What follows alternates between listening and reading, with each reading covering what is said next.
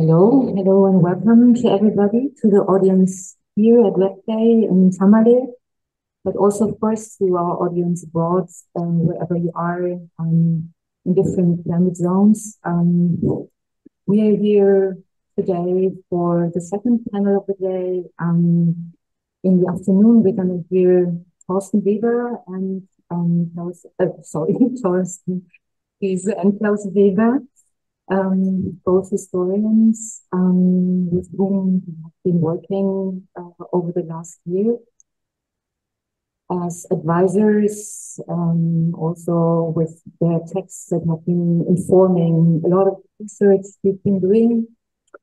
Um, so here, uh, the space where we're sitting for the audience board, so what you can see behind us is this particular space called Parliament of Ghosts um, that Ibrahim Mahama uh, created as one of the um, many uh, multi-purpose spaces that are, are, located here in, in Tamale.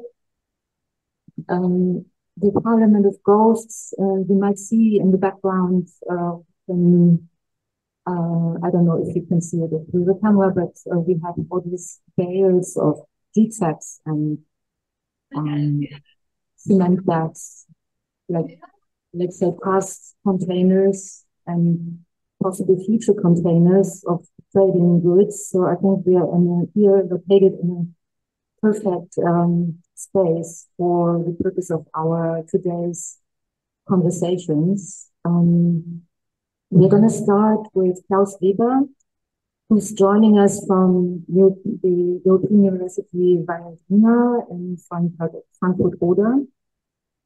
The title of his presentation is African and American Dimensions of German Proto-Industries from the 17th to the 19th century, the examples of Westphalia and Silesia. Um, I will just briefly introduce, um, so Professor Klaus Weber is a historian and professor of European and Social History at the Europa-Universität Viadrina. In 2001, he submitted a PhD thesis at the University of Hamburg on German merchants in the 18th century Atlantic trade. Weber's research interests also explore labor and welfare regimes in modern Europe and the Atlantic world and the global connections of Central Europe's early modern proto-industries. His texts, Linen, Silver, Slaves, and Coffee, a spa spatial approach to Central Europe's entanglements with the Atlantic economy from 2015, is one of the main reference texts of this project. So I will give the word to Klaus now. Um, after his lecture, we're gonna continue immediately with questions and then have some space for Q&A after the two sessions. Yeah, um, many thanks for the invitation um, to contribute to your event with this talk. I will try to offer a kind of straightforward uh, nuts and bolts story, which is very empirical and um, I want to emphasize that much of the contents I am owing to the research of Tobias Skowronek, who is not an historian, but a geochemist and geophysicist and an archaeologist. So he carries out a very interdisciplinary uh, research, and he has made himself an excellent, uh, an expert in um, the copper and brass trade between German lands and Africa from the medieval period to the 19th century. And I'm owing a lot also to Anka Steffen, who defended her PhD thesis only last year here at um, Viadrina University. She investigated the Silesian linen trade in particular. So this is the structure of my talk. Um, we historians are so much obsessed with the past that I go beyond the time frame I gave you in the title and want to begin in the medieval period. Um, in 1962, the French zoologist Theodore Monod carried out a research expedition in the Western Sahara. And by coincidence, he found the remains of a caravan that had perished there at some time in the early 11th century, a thousand years ago.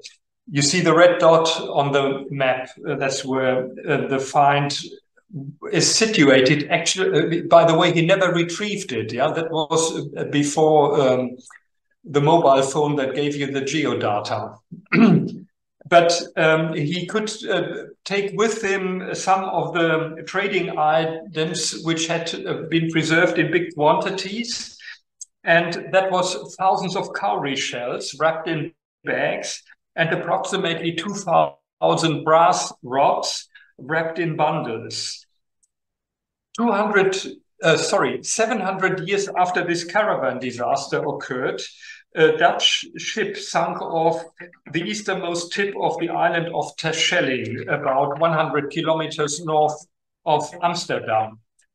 Um, and the shipwreck was only rediscovered in 2012 when a storm washed remains of the ship's structure and cargo ashore. Among the cargo were glass beads, clay tobacco pipes, and again brass rods wrapped in bundles. The rods were of almost exactly the same dimensions as those found in the desert, and we know very well for which purpose the 18th century rods um, were made. They um, were among the prevalent barter commodities shipped by Europeans to West Africa for purchasing slaves, which is why they were commonly known as Guinea rods, Guinea rods. We know exactly where the 18th century Guinea rods were produced. It was in the brass manufacturing region of Stolberg on the outskirts of Aachen or Aix-la-Chapelle, close to Germany's border with Belgium. But where did the medieval brass rods originate? Tobias, this geophysicist working at the Mining Museum in Bochum, he carried out an isotope analysis of the rods from the North Sea and those from the Sahara.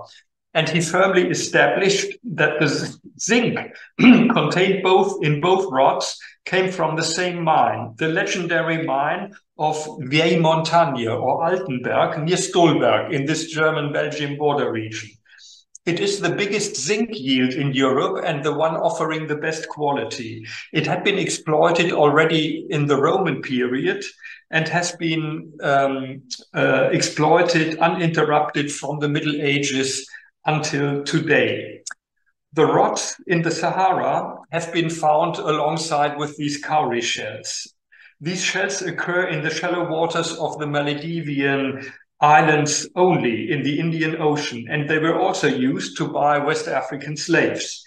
The rods on the North Sea beach have been found alongside with glass beads and clay pipes, two more articles readily selling in the slave trade. There is no direct proof to it, but I make the claim that as early as in the 11th century, cowrie shells from the Indian Ocean and German made, made rods formed an assortment deliberately assembled in order to purchase gold and uh, enslaved Africans in sub-Sahara regions. This trans-Sahara trade brought millions of enslaved people to North Africa and to places as far as Egypt and Persia. We now jump from the early medieval to the early modern period and to Augsburg, a city in the south of Germany. Jakob Fugger, some of you may have heard this name, was one of the most wealthy and powerful merchant bankers of his time. His family came from rather modest uh, linen weaving in a village near Augsburg, but then this family climbed the social ladder when they moved into town. They became textile merchants, financiers, and investors in Central European copper mining. In the mid 16th century, under the Portuguese flag, they sent their own brass and copper as far as India, and more importantly to West Africa, where the Portuguese slave trade caused the expansion of markets for European commodities. A Portuguese ship which failed in 1532 on what is today the coast of Namibia was discovered in 2008. It was one of the seventh of the seven ship of the 45th fleet Portugal sent to India. and we see a depiction here from that time. It was actually made for the maritime insurance. Yeah. Nowadays you take photos, but the insurance company wanted exactly know which were the circumstances of the um, of the failure of the ship. Now, among the cargo, there were more than uh, 1,800 pieces of copper, totaling 17 tons, and all marked with the trademark of the Fugger, the trident. This cargo was meant for India, but the Fugger and Welser also provided Portugal with huge volumes of copper and brassware for the slave trade. Much of it was produced in Nuremberg, one of the major German places for copper processing, and much of it still in the Aachen-Stolberg region, where the medieval rods originated. Ordering, there were orderings of uh, barber bowls, saucepans, and manillas made by the Portuguese crown and those orderings were in the range of 10,000s of items and by thousands of hundredweights, all explicitly meant for the African market. Between 1495 and 98, the Port Portuguese agent Manuel Fernandes alone purchased more than half a million manillas via Antwerp. Manillas are these horseshoe-shaped brass objects which were uh, used as a currency in West Africa. Most of this was bartered for slaves, as I said, and much of the items, much of the metal was also used by African artisans to produce mundane and sacred objects. We see here depictions or photos of these famous um, Benin bronzes, and here a crucifix made by uh, artisans in the Congo region in the late 6th or early 17th century. And the raw material, or at least much of it, came from these German lands.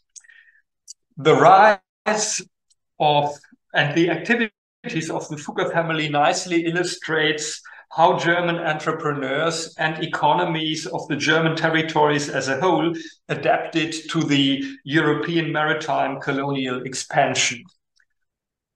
Entrepreneurs like the Fugger and the Welser, that's another Augsburg dynasty, were in fact protagonists of this expansion. They were involved with the transformation of the Canary Islands, of Hispaniola, what is Haiti now, and of Brazil into plantation regions.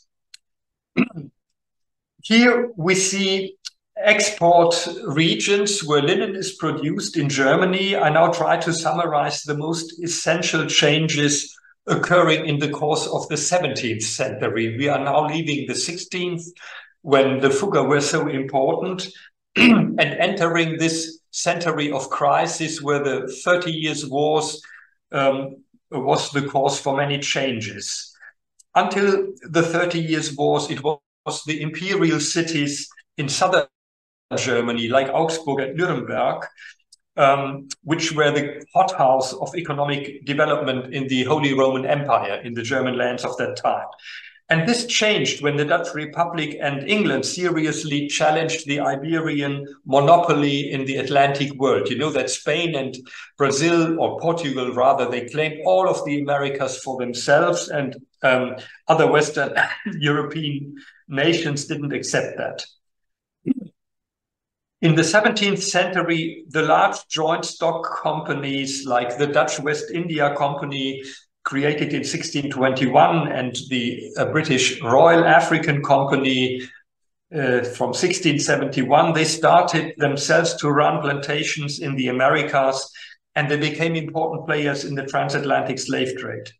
And these uh, two sectors, the slave trade and the plantation regions, they created new markets for German made commodities, most prominently linen textiles and metalware with the rise of the Dutch and the British colonial and commercial empires, more and more German-made goods were also shipped through the ports of Amsterdam and Hamburg on the North Sea coast.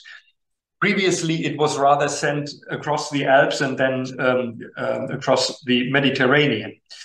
and accordingly, rural linen production And the cities where merchants organized this production and the quality control, they also began to flourish in northern Germany at the cost of the south.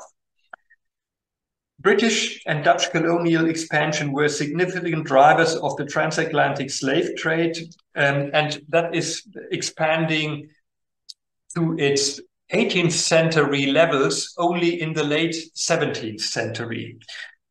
In places like Ulm, Augsburg, or Nuremberg, these old centers, the population had shrunk during the war and recovered only 300 years later in the course of the 19th century, while Westphalian cities like Bielefeld and Osnabrück became important economic centers. Hamburg grew from 40,000 to, uh, to, 50, to 75,000 inhabitants during the 17th century, and um, similar um, developments we have in other cities in the north. Genoa, in contrast, probably the most important 16th century gateway of German linen shipped to the Spanish world. Um, in Genoa, the German merchant community shrunk to only a few members by um, 1700. And here on this um, slide, you see how the volume of the transatlantic slave, slave trade rises significantly only from the 1660s and 1680s. Now, this is the period we are talking about now. And we will look at these two particular regions, Westphalia and Silesia, that were the most important production areas for linen in the late 17th and through the 18th century.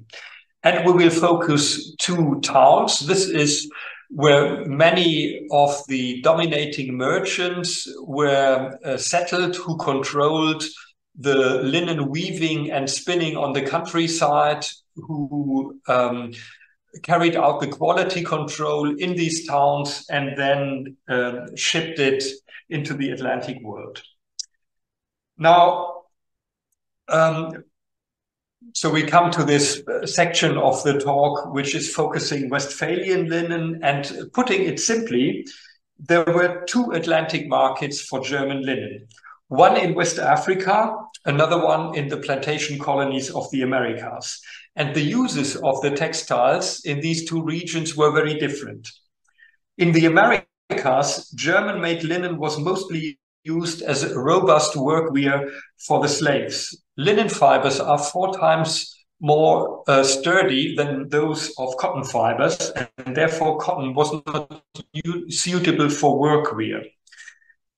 And workwear did not need to be fashionable. It was not a consumer good. It was the plantation owners, thus the owners of the slaves, that bought the linen and gave it to their workers. For example, the um, colonial law for the French colonies, the Code Noir, it was decreed by the King Louis XIV in 1685. It obliged plantation owners to provide their slaves with a shelter with specified quantities of food and of clothing. There was one article in this code. Each year, the master will have to furnish each of their slaves with two outfits of linen of four ells or um, um, four ells of linen at the master's discretion. And um, on the West African coast, in contrast, things were different the European buyers of slaves used linen and other textiles in the barter trade for slaves. The African sellers of slaves, many of whom were local or regional power holders, wanted high quality goods to be resold on the African markets or to be given as gifts to their retainers, soldiers, peasants, servants, etc.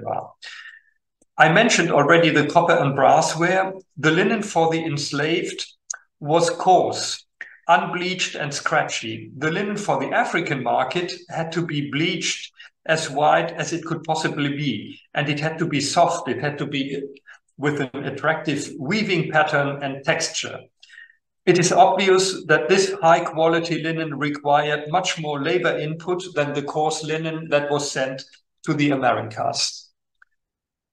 Oh, I'm afraid I didn't pick the um, latest version of my uh, slides. Okay.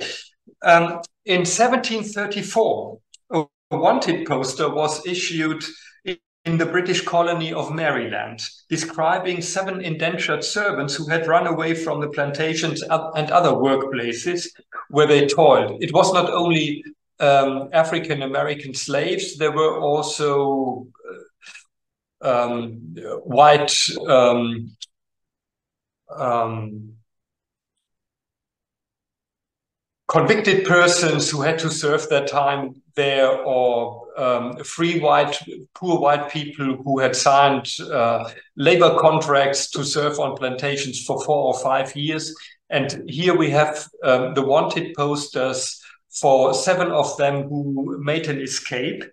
And um, not only Thomas Pearce, the short, brisk fellow mentioned, or James Oakland, a fat young man, about 30 to 25 years old, I quote from the wanted poster, were wearing Osenbrick shirts and frocks and trousers. All the seven did. Osenbrick, Osnaburg, Osnabrück, in fact, had become the generic term for workwear in the Caribbean and in British America, in use in the United States and uh, even into uh, the 20th century when they were made of cotton. Sorry, I have to jump back and forth. And um, by the 1730s, the linen region around Osnabrück had become the major provider of such linen. Linen regions in southern Germany continued. Sorry? Uh, please give us uh, one minute where yeah. we lost the loudspeaker. So we're just trying to figure it out now. Please give us a short time.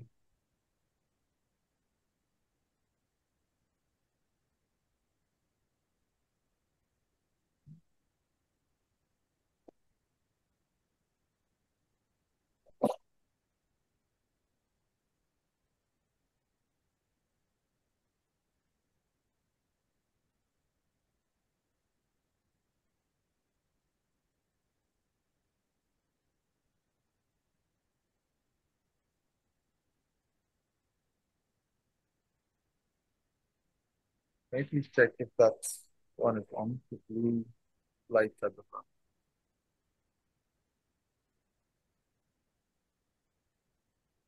Not?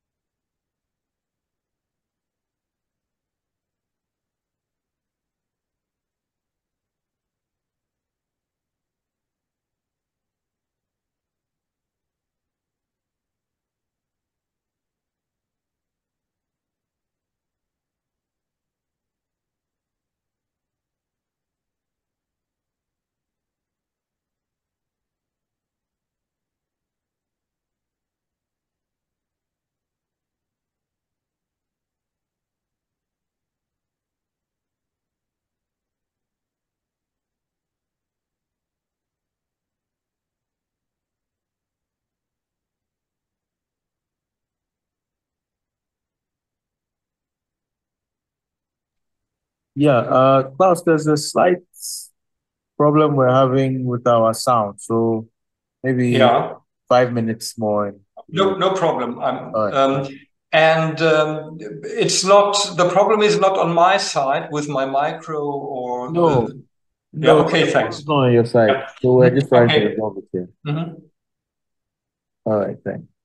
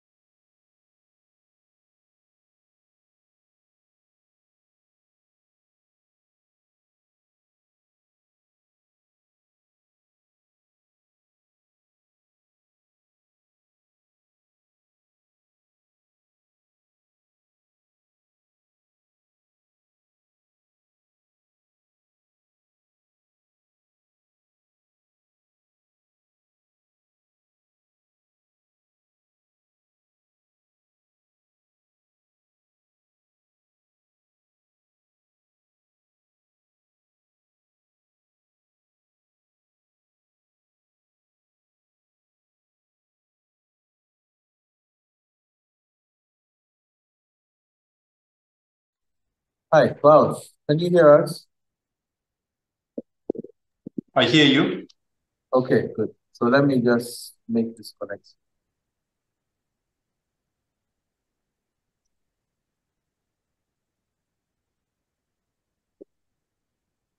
The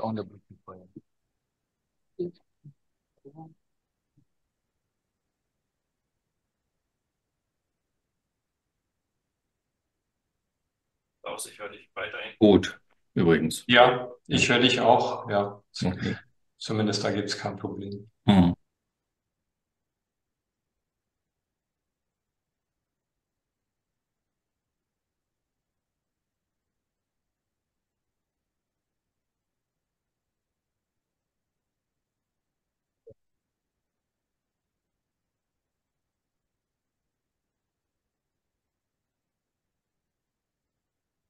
Ja. Mhm.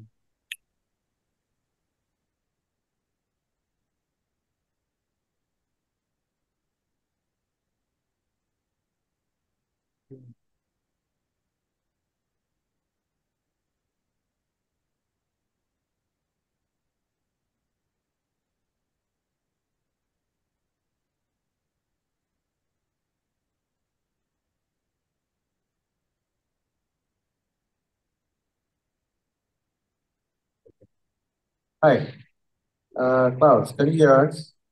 Yes, I can Yes, hear I you. can hear you. Very good. So we can continue. Sorry Yeah. for the. Don't worry. Okay, so um, let's go on. Um, we were interrupted when I was talking about these um, escapees, and each and every one of them was wearing one or two or even more pieces of clothing of Ozenbrick linen. Yeah? And um, there were more linen regions and all had themselves made their name, but the dominant was Osnabrück. Yeah. And we see that there were more um, varieties and qualities of linen produced in the same region. They were called Stoutweser Flaxen or Tuborn Tecklenburgs, that's another province in that region, or Rosas de Westphalia. These certainly were of a far better quality than uh, the ones used as workwear. And in Silesia, um, linen uh, from there was known as sletias. Wherever you see this in the sources, um, it's actually Silesian linen. And all of these linens from rather northern regions in Germany, where they were shipped through Hamburg, Bremen, and Dutch ports. Um, and here, from the uh, textile museum in Bramsche near Osnabrück, you see what remains of a loom, of a hand loom on these. Um, it, it looks very simple, but still it's a sophisticated machine. And here you see a linen weaver in Latvia today. Uh, this lady is probably producing for a very small market, uh, probably uh, souvenirs for tourists. But linen was also linen production very widespread in the whole Baltic region. And this is what the Osnabrück linen must have looked like. This is from a 19th century pattern book, so a more recent period. And this is an even more sturdy fabric. It was used as packaging material, but you can have an idea of the texture. Yeah? Now, um, I had mentioned the Fugger and Welser families from Augsburg. They had business partners and employees who organized their far-flung networks, which stretched even to Brazil or to the uh, Canary Islands or Madeira. And um, in the late 17th century, the uh, textile merchants in Westphalian cities were making their way to the economic elite. And they established family networks which were run by members of the same family, brothers, sons, and nephews or sons-in-law of the head of the firms would open branches in London, Amsterdam, Nantes, or Bordeaux, in Lisbon or Cadiz, in all these important Atlantic seaports in Western Europe. And there they would introduce the products that came from their regions of origin, not only from Osnabrück. The German traders would move along the commodity chain as close to the markets as they could get.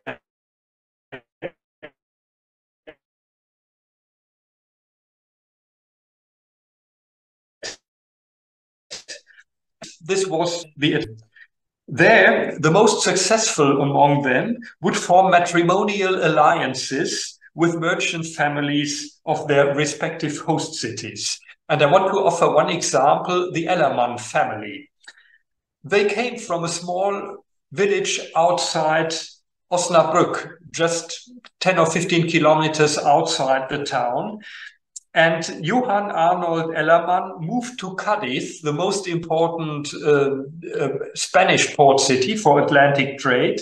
He moved to Cadiz in the early 1920s and ran a company there with his brother um, Hermann Ellermann. And Hermann even traveled to uh, Spanish America, and he could do this only illegally because he was not Spanish and he was not Catholic these people were actually barred from these regions.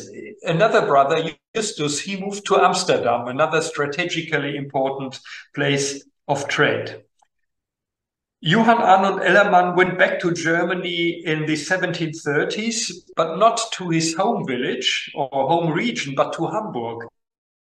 And there he soon became the chairman of the Kommerzdeputation. That's the Chamber of Commerce in Hamburg. So he came from a village, moved to Spain, and came back and made it immediately into the very elite of the biggest German port city.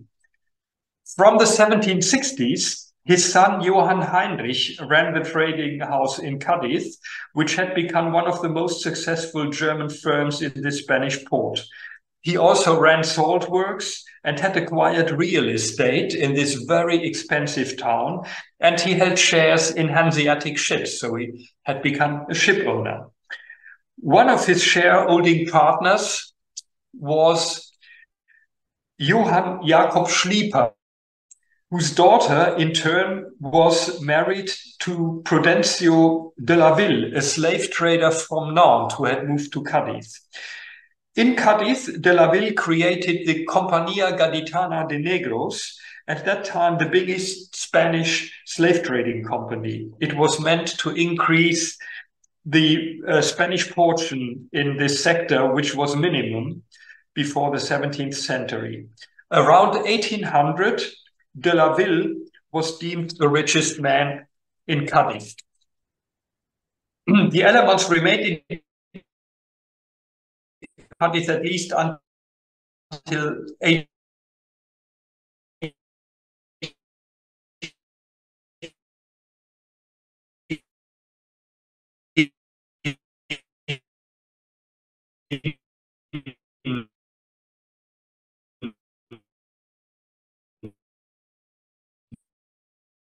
Thirty more how commercial networks were created world. Um, Bremen and who settled in um, London in the 1720s. They soon became members and even uh, directors of the Royal African or of the um, um, English Company of Merching, Merchants Trading with Africa. That was the name of this um, slave trading company. They became very much involved in the sugar trade and more importantly, they became one of the three or four most important merchant banks in the city of London. And they were among the leading banks even in the late 20th century. The third example would be the Schröder family. The Schröders were originating from Quakenbrück, a small town in the bishopric of Osnabrück, and they had arrived in London well before 1800. They were also present in Bremen and Hamburg.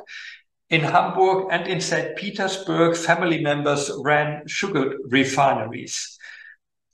And um, um, it is not surprising that both the Barings and the Schröders were anti-abolitionists. Yeah? So they were against the abolition of the slave trade and they were against um, the abolition of slavery in the colonies, even though the Barings, they changed their attitude in the late 18th century.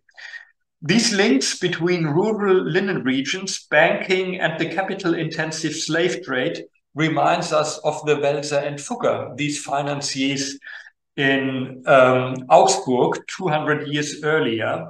And they also remind us of 18th century banking houses in Frankfurt on the River Main, today's financial center in Germany, because there too there were banks that were involved in this sector, in the textile industries, or rather process industries, in copper mining, in banking, and with strong ties to Atlantic plantation economies in Frankfurt, this applies in particular to the Bethmann and the Metzler family. They ran the biggest banks in Frankfurt in the 18th and early 19th centuries.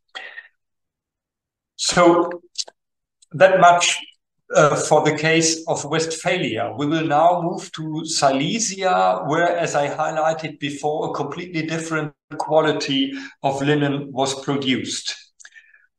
I um, quote from a letter that Arthur Wendover, agent of the Royal African Company in Jamesfort near Accra, wrote in 1745. In this letter to London, he complained that all vendible goods are gone, as sletjas and other cloths. And if there be any goods that can be spared, for God's sake, let us have them sletjas, of course, or fine sheets or any sorts of linen. Yeah? He was desperately demanding for more merchandise because all the time he could sell it at a good profit. He just didn't have it in stock.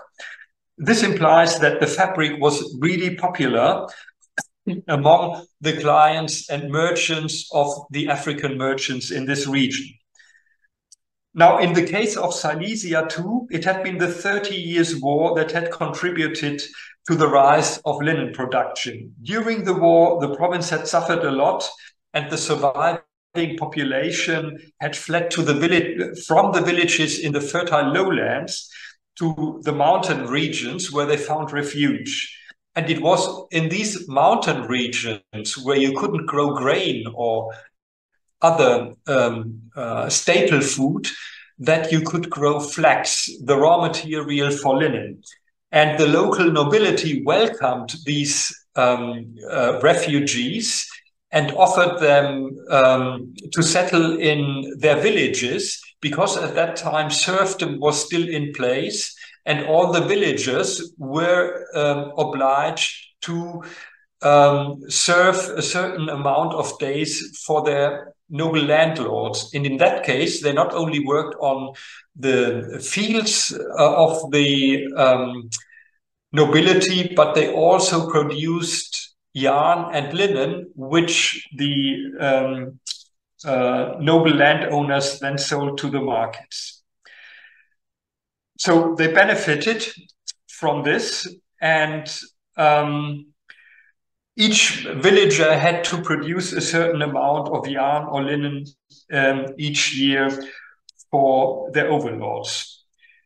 In parallel with the growth of the transatlantic slave trade, in uh, you see here outside um, Hirschberg the linen that is spread out on the lawns uh, to be bleached in the sun. Yeah, it looks like um, these uh, white stripes on the lawn outside town. Now, in the uh, decades after the uh, 30 Years' War, there was a new class of economic actors emerging, merchants who settled in these towns and who uh, managed to buy the textiles directly from the uh, peasants or paid them extra money to produce, to produce for them outside the serfdom sector. And so these merchants managed to um, carve out their own place in the linen trade. And some of them became, uh, within only a few decades, so wealthy that they could buy from the nobility their landed estates. And with the landed estates, they bought the villages. And with the villages, in a way, they bought the laborers there who were then obliged to work for these merchants. And um, the new owners from this merchant class, they even squeezed, um, after they had squeezed out the uh, noble landowners from this sector, they squeezed um, um, out more work from their peasants. They established a labor regime that was more exploitative and more capitalist than the older, rather paternalist regime maintained by the nobility. Now, tens of thousands of serfs had to produce the textiles the merchants exported at very handsome profits, which these in turn invested into even more estates and in the workforce that came with it. In many respects, for example, regarding the input of nutritional calories, the living condition of these serfs were worse than that of for many slaves in the Americas.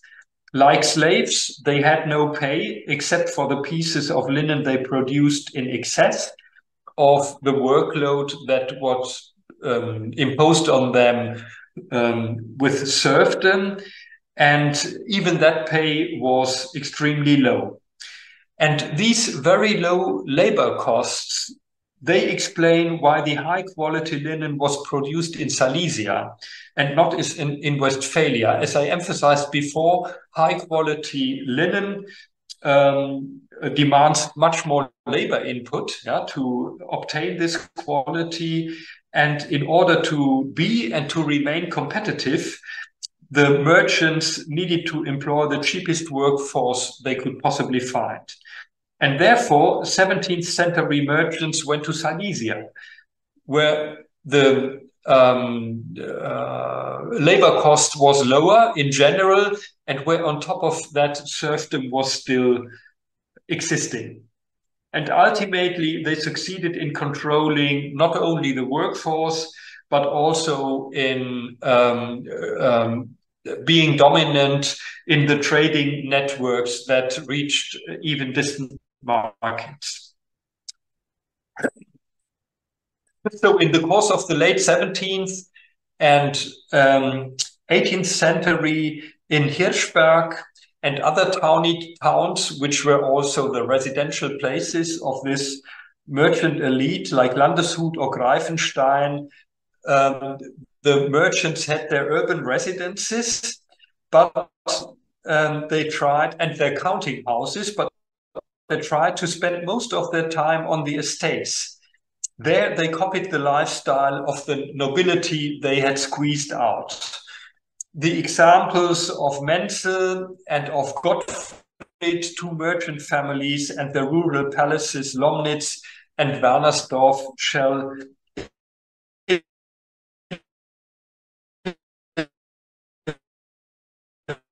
illustrate that of Florian Menzel in the early 18th century, and it was in hands of this family far into the 19th century. Here we see Wernersdorf, the estate of um, the Gottfried family, purchased by this merchant in 1725. And um, this was not only um, a rural palace, it was uh,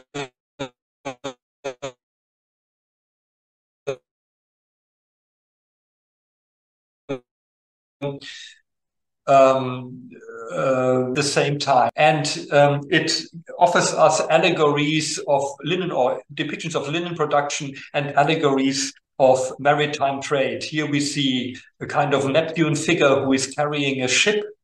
We see um, at the bottom, you see in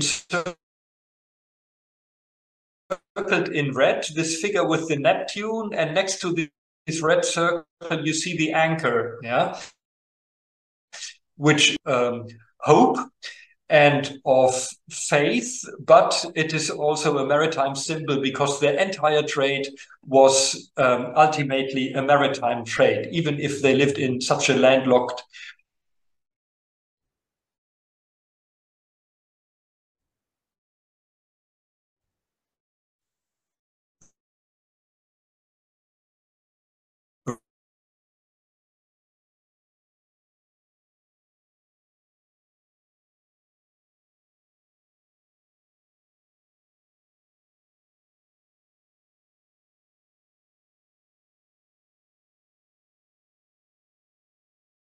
of this image um, two boys, white boys, who are cutting linen cloth. And here, um, one of these boys in the background, we see the very same estate. And again, you see the linen uh, spread out on the lawn to be bleached in the sun. Yeah, so this is a very nice example how in image and actually in the material building and its uses in the 18th century, the whole um, very um, global trade is represented. the linen trade was not only profitable for the merchants, but also for the state. During the decades here considered, Silesia had become the economically best developed province of the Habsburg Empire. And this is why the Prussian King Frederick II waged three wars, the Silesian Wars, between 1740 and 63 in order to conquer this promise, province. And he, succeeded when it was uh, it had become Prussian, the Prussian custom records, beginning with the annexation, demonstrate that 75% of all linen exports were destined for Western Europe, West Africa, and the Americas. Another 10% of Silesian linen export were destined for Western German regions, but I assume that these were only further processed there to add some more value to it, and then also channeled into the Western Hemisphere. And these exports generated more than 10% of Prussian state revenue. On the two maps left, you see uh, the extension of the Prussian territory with the conquest of Silesia. Yeah, this um, uh, blue um, uh, colored territory, more or less in the center of the two uh, small maps of the lower map.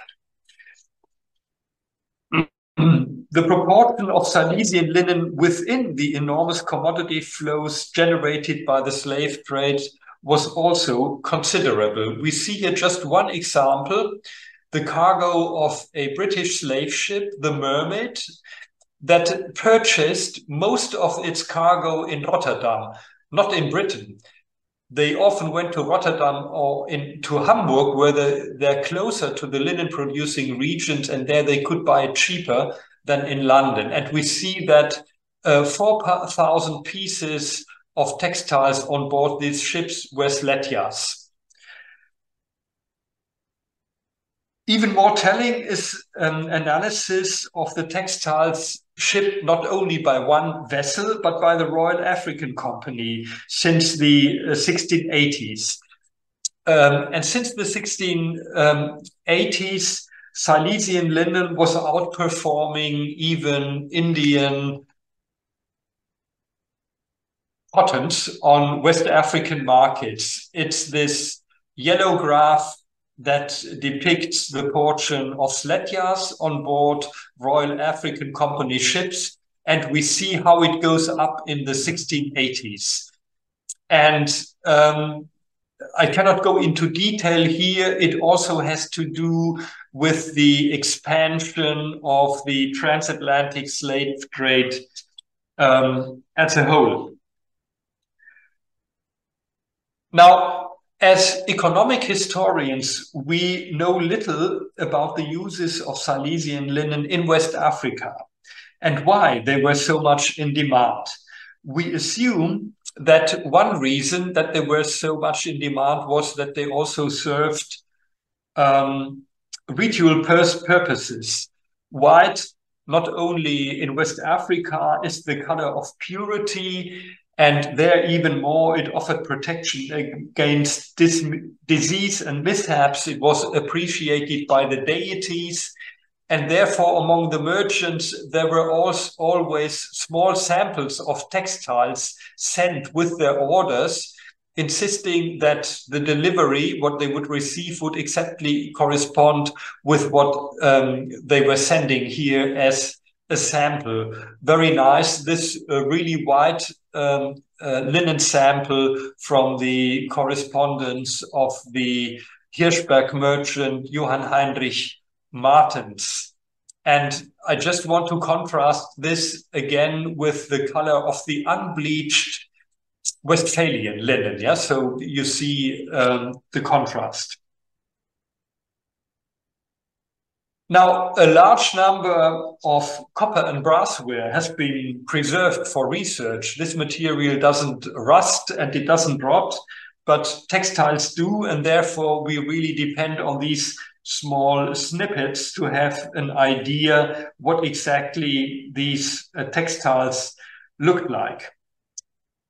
Um, and this is a depiction of a place where trade is going on. At the very center of it, I'm expanding this a little bit. We see a merchant who is spreading out this bale of textiles, maybe Silesian linens, to show the buyers what good quality he is offering.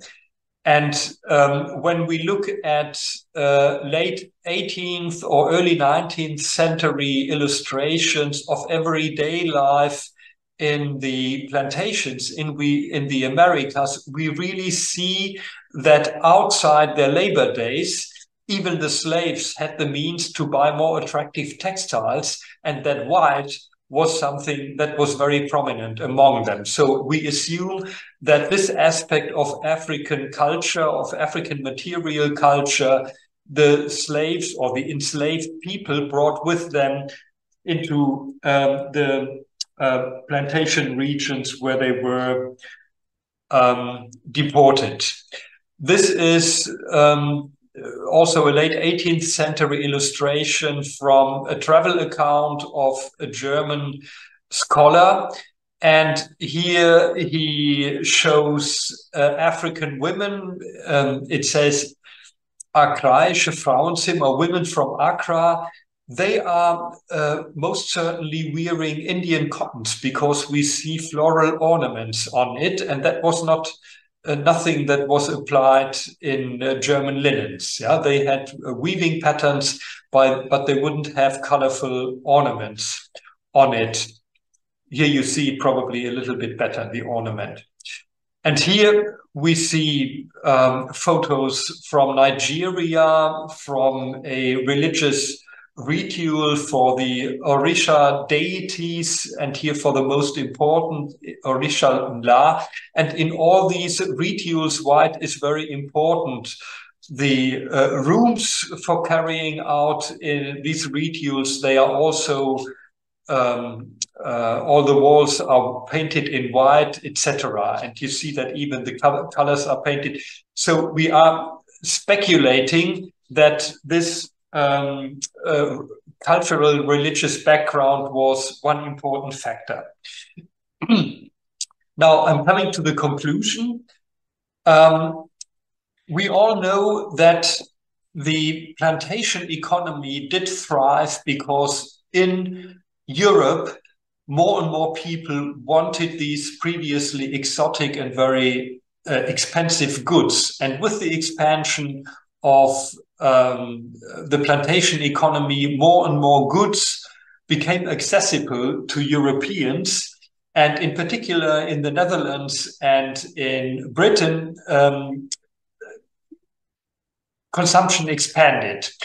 and this is why um, economic historians are talking about a consumer, about an 18th century consumer revolution. You can also see that in Germany, but they're at a far slower pace. And it was driven by the accessibility of these previously very expensive plantation products. The contemporaries were very much aware of it. They were lamenting, for example, the calico craze in Europe, the craze for Indian cotton textiles or European made cottons which copied the Indian patterns.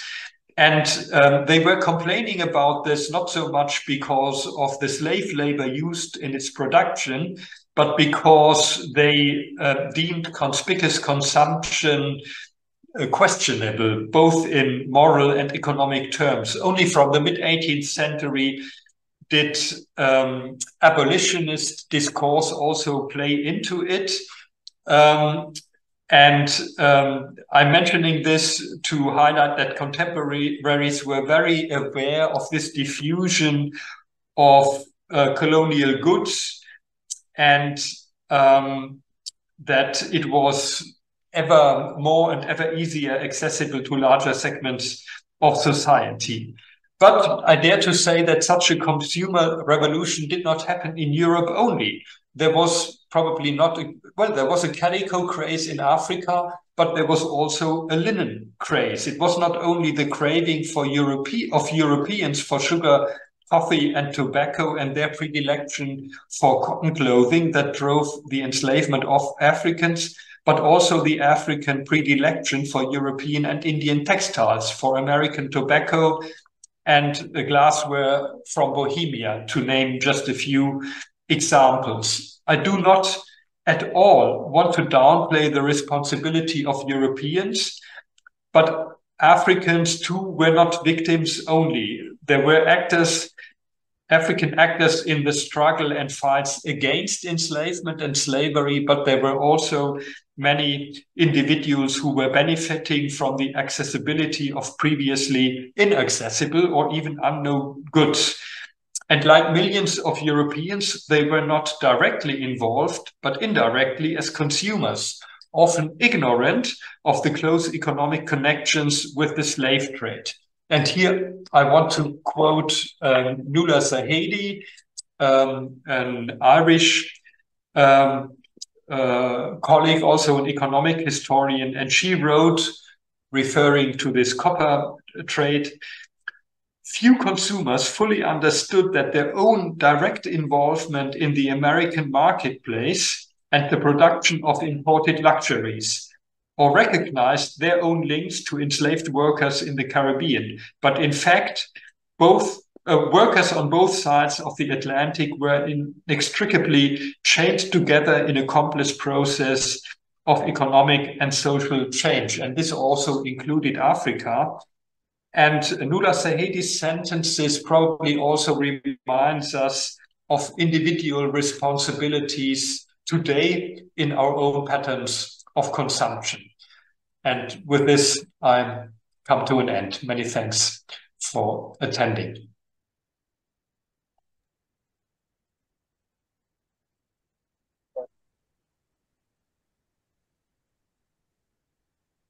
Much, Viva, for this presentation. Um, it, was a lot material. Most of us are not historians, um, so this, this input was really crucial. Um, because we lost uh, some time earlier technical problems. Bettina, ex excuse me, it's very, I can hardly understand a word. The quality was much better before.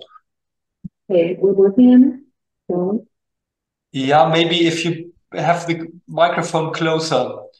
I that's not the problem. I, I uh, no, it doesn't help. One, this speaker So it should work.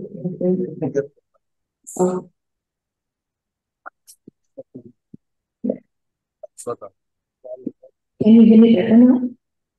I think it's somewhat better, yeah? Somewhat better, okay. Um, I, I'll be out of the picture, but hopefully that will understand. Um, yeah, I was just saying, um, as we already lost some time with the technical problems, I suggest that we immediately move now to Dr. Heese' presentation. And um, if you will, if you will be able to stay with us uh, for the Q&A, uh, which will then be in about 40 minutes. Bettina, now I can hear you. If you stay where you are. if I stay where no, I have a feedback, sorry. Yeah, now it's much better. Sorry for interrupting all the time. Yeah, it's better, huh? Yeah, I think it's better. okay. We're trying. Okay, now now I think this is better. Yeah, the hall is gone also. Um, yeah, Thorsten um, uh, was someone who like Ibrahim Mahama, Kaysel Renaye, and I uh, have been consulting a lot while being in Osnabrück. Somebody who also uh, did a lot of uh, guided tours in the city. Um, um, this tour, that like a decolonial tour in a way, uh, was informing a lot of, of our research. Um, and he was also one of the experts who was speaking, um, who was invited to, to speak to audiences in the public program around Ibrahim's piece. Um, so just to briefly introduce him, uh, Thorsten Heese studied history, political science, and art history in Osnabrück and in Hull in UK. In 2002, he obtained his PhD at the Martin Luther University of Halle in Wittenberg. He's the co-director and curator for local and cultural history at the Museumsquartier of Osnabrück. He also is temporary lecturer for museological didactics and museum education at the University of Osnabrück. His scientific publications and editions deal with museology, history didactics, as well as the history of colonialism, migration, and national socialism.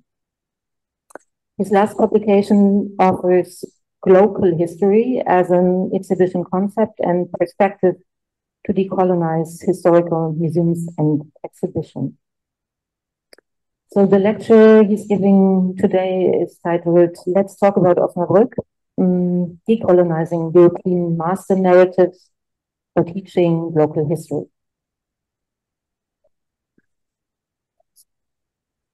Okay, thank you very much for the invitation. I hope that you can hear me clearly. Sorry, uh, Klaus, could you please exit, exit your presentation? The, the screen sharing? Yeah, thank you. Mm -hmm. Okay, that's fine. So my, my presentation is visible now. Yes. Right, Bettina? Yeah, everything fine. fine. Thank you very much. So after Klaus, who had gave us a lot of interesting details about the the linen trade and the importance of linen, I want to um, focus on another aspect. I want to talk about how we talk about history. I want to talk about storytelling and narrations. And uh, of course, I want to talk about master narratives too. At the beginning, um, I am, you don't know me up to now. I am I want to ask um, the question, who are we? Who am I? Even if you don't, if I don't wear a hat, I'm a European. This is what connects me with those four men with hats who an indigenous sailor from the Tonga Islands saw about 1886 and drew them on this headrest dressed men with hats, those guys are strangers from Europe. Even for you, my audience, I must be a stranger. Therefore, it would be a great honor to me if you listen to me for a while. Thank you very much in advance. Just to present me, I am a German historian who works in a museum in Osnabrück, dealing with a local and regional history. From this museum also derives the mentioned headrest. It was brought to Osnabrück by a sailor from a journey to the Pacific area and offered to the museum as a present. When I tell stories about history in a German town like Osnabrück, I, as a town historian, normally would tell something about this place, Osnabrück. This local narrative takes place thousands of kilometers away from places in Africa, Asia, or the Pacific region once being colonized by Germans. What does this has to do with decolonization? I would say quite a lot, because it is an important question in which way I talk about history, what kind of narrative I choose.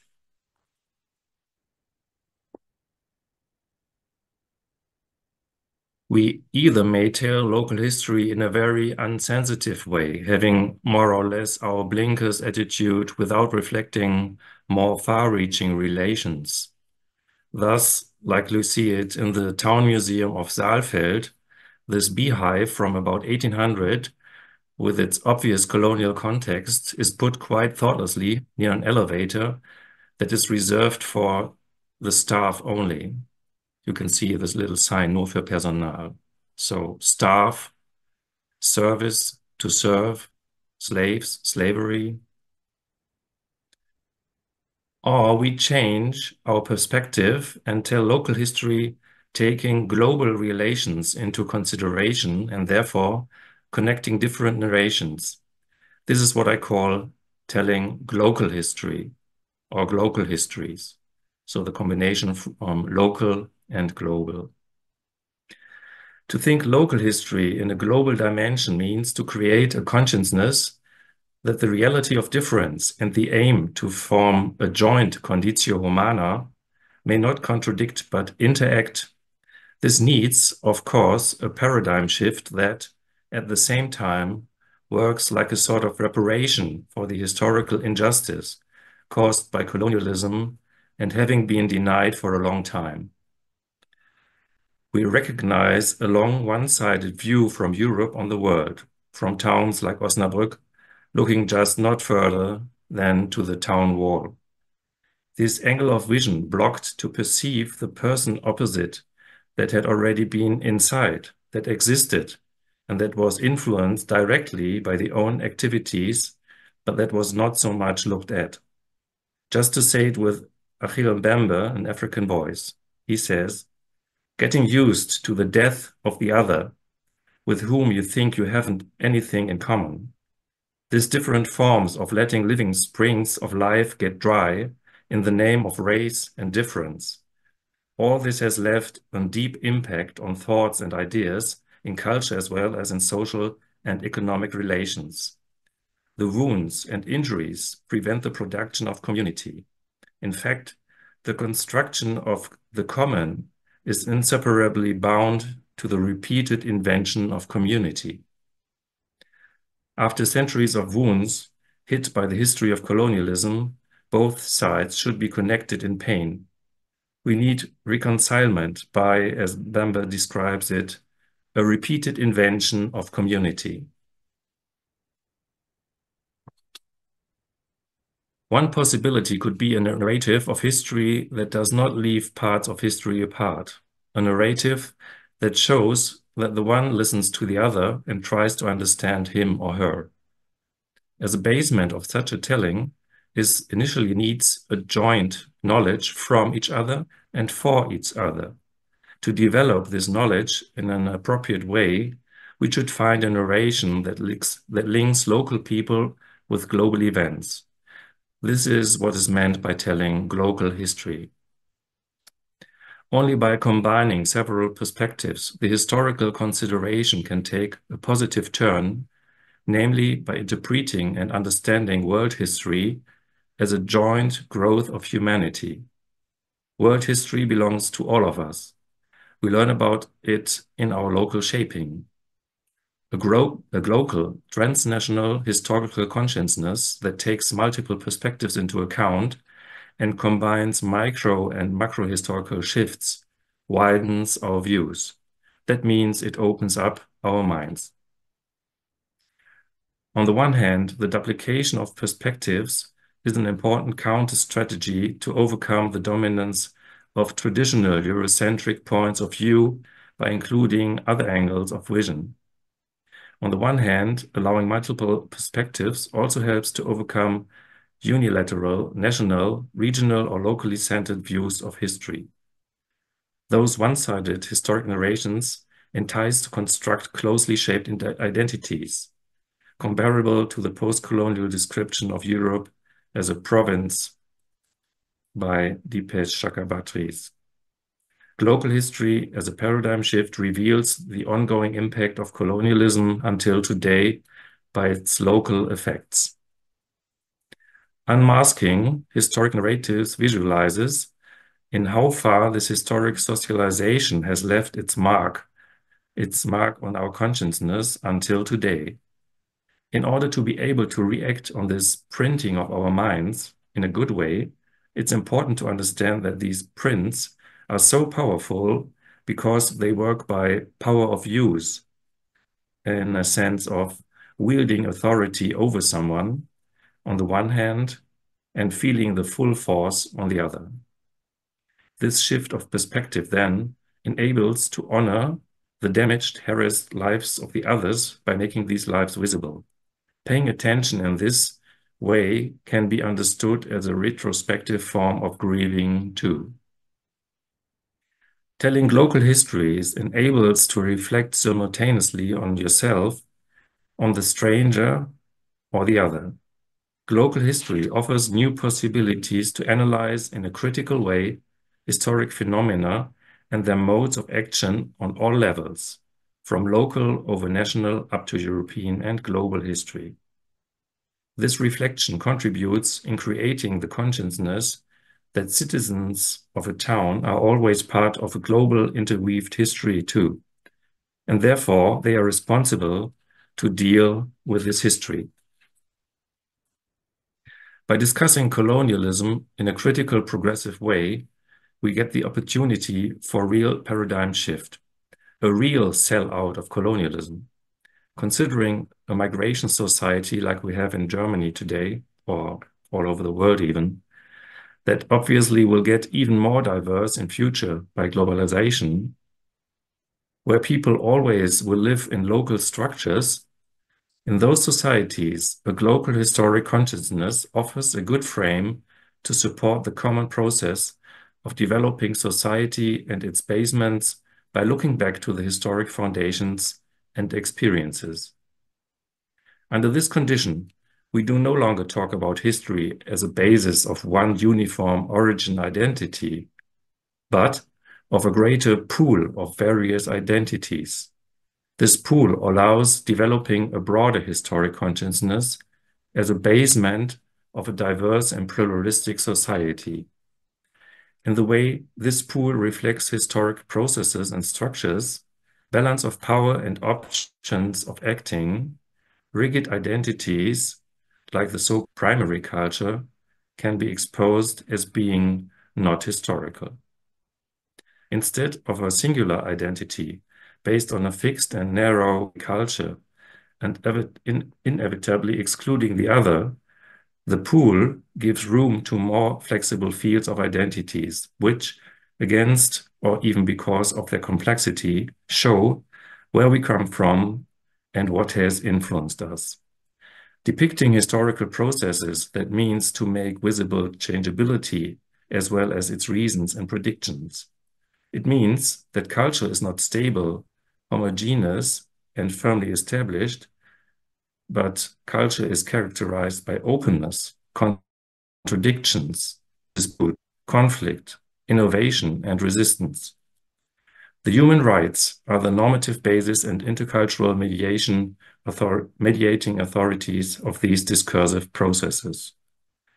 Especially having this in mind and taking the actual social discussion into account, it makes again sense to tell town history as local history, it is a good way to overcome master narratives as exclusive dominant narrations, trying to narrow down historical perspectives to a certain level. Instead, local history opens a perspectivity at eye level with the other local histories related to it in any form. This is a question of trust, uh, transparency too.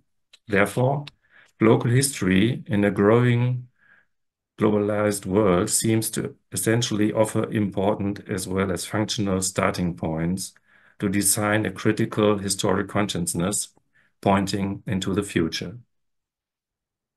Here, the history of colonialism plays a crucial role. From the very beginning, colonialism as well as colonial imperialism were quite influential by their visual appearances, three-dimensional manifestations in so-called cabinets of curiosities, where you could see the macrocosm in microcosms, had a great impact.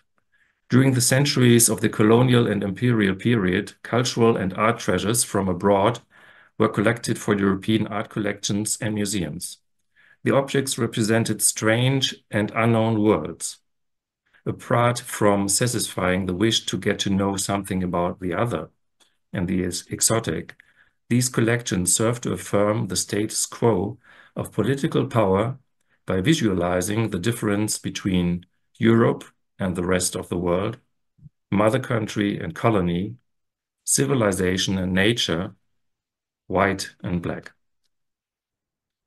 At the end of the 19th century and the beginning of the 20th century, the ethnological exhibitions, or in German Völkerschauen, as well as the big world and colonial exhibitions were the climax of a scenographical visualization of colonial imperialism. Ethnological museums, uprising at the same time, became the institutionalized part of these fairy-like events. Their collections formed the scientists' basis of their ethnological research on race theory, which led to a pseudo-legitimation for the colonial empires to occupy the whole world. There was only a small step left from their theories to the cruel racial ideology of National Socialism, by the way. Exhibitions as well as museums visualized the hierarchy of colonialism, and this is important, without words, but therefore even stronger, because the pictures are talking much more. In order to finally overcome this imperialistic scenography of the imperial period, it needs a committed change of perspectives. We talk about overcoming in post-colonial days a visual illiteracy that has up to now hardly been recognized. It makes communication in our migration societies in the actual period of globalization quite difficult and imposes strong restrictions on joint social interaction. Local history is a helpful means to support this process of overcoming. The town, like a magnifier, mirrors the overall events in a local level and, in the same moment, we realize the mutual involvement between the local and the global sphere. We have to do with a microcosm of an empire that mirrors national structures of power in a smaller better understandable scale. Furthermore, local history is a quarrel with the other by meeting yourself in confrontation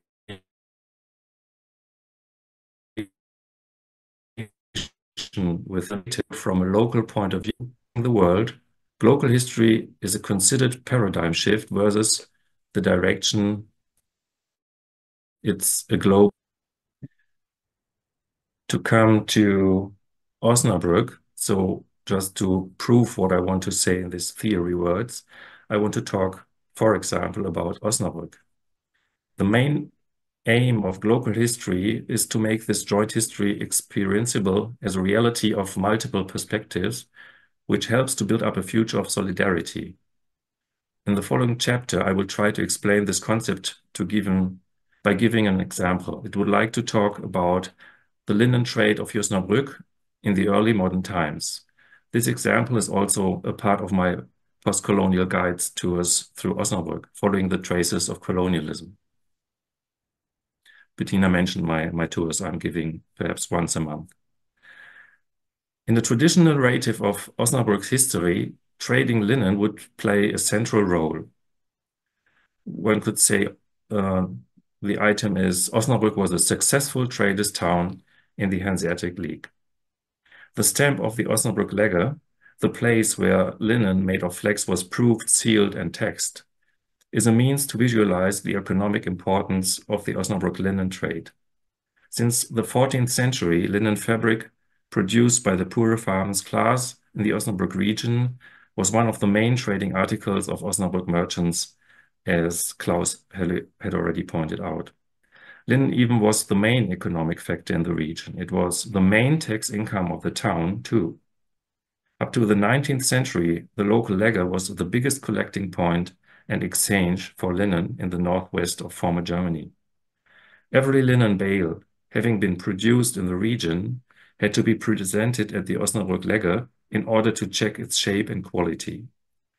For this forced control, the town got a fee, the so-called legge tax. The stamp printed on the linen after the review was a confirmation for every buyer that proved the high quality standards. The message of this traditional narration would be Osnabrück, as a part of the economically strong German Hanseatic League, got rich by trading with linen. So we are talking about economic success. A wonderful story, still very important in politics today. This narrative, though, with regard to a content beyond economic questions, does not really encourage thinking about more far-reaching connections.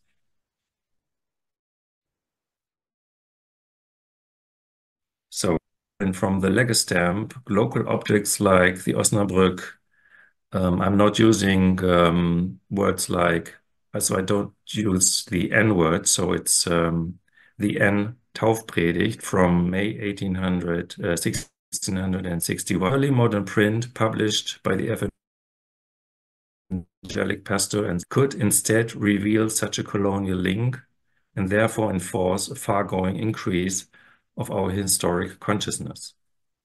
What is the background behind this sermon? In 1656, the, the Osnabrück mayor, Gerhard Schepeler, bought an 11-year-old enslaved African boy sold by the West Frisian merchant Samuel Schmidt in Hamburg.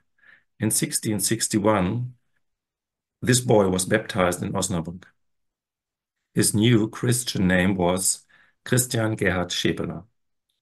The boy was probably born in 1955 or 56 in Guinea. At the age of four, while playing on the beach, he was kidnapped by Dutch soldiers during their patrol on the coast. He was then sold to Schmidt and brought to the Netherlands. There he served as a domestic for seven years before being sold to Schepeler in Hamburg. This published sermon of 1661 is up to now the earliest proof of an African living in Osnabrück. The story of the young baptized African allows us to visualize the link between the local history of Osnabrück and global historical events and developments.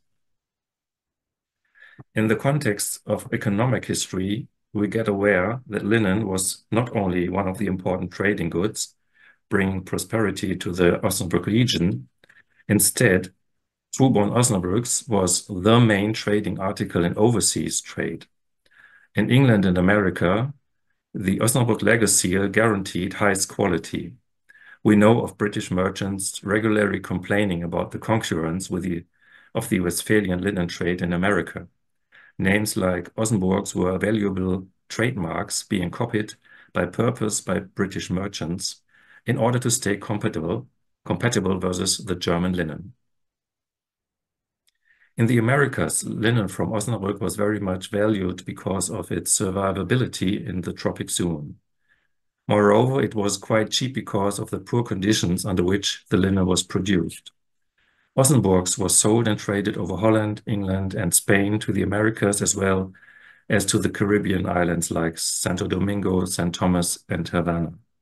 Hence, Osnabrück participated in the global system of the early capitalistic three-angle trade between Europe, Africa, and America, flourishing between the 16th and the 18th century.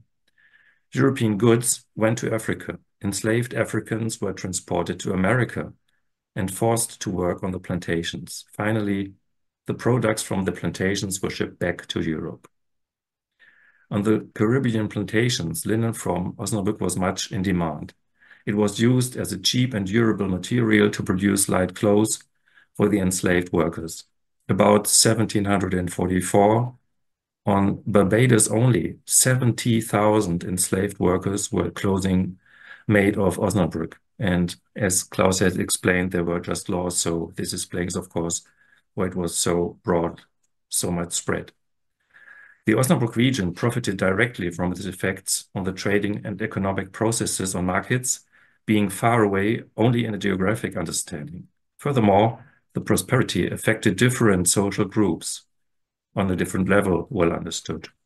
The main merchants and middlemen who organized the trade of Osnabrück linen, as well as the town that had the legge tax as an important income. Even the rural families who grew, processed, and sold flax, the weavers who produced the linen, as well as those who organized the fabrication in a proto-industrial way. They all earned by the fact that in the Caribbeans, enslaved people were forced to work on plantations. Concerning Osnabrück, This means the slavery system increased the demand on Osnabrücks and therefore created work and jobs in the region. Over short and long, su such a stable fabrication created buying power in the broader classes to consume colonial goods. The narrow relation between the local Osnabrück area and the global economy has also been mentioned very well by looking at the linen merchants.